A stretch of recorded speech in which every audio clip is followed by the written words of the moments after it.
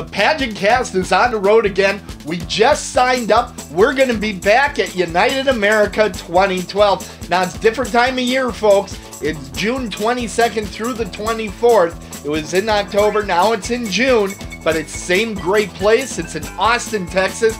And I heard about one of the very special things that we're going to be doing there that's exclusive. The only place in the world you can see what we're going to be doing is in Austin, Texas.